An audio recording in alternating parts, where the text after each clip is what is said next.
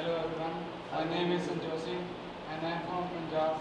I joined in the Offshore Shipping Academy and there's a such there's such a good experience that I get from here.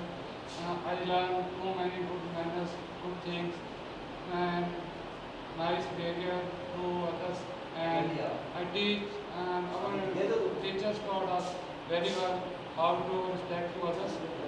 So that's why all Thanks to all.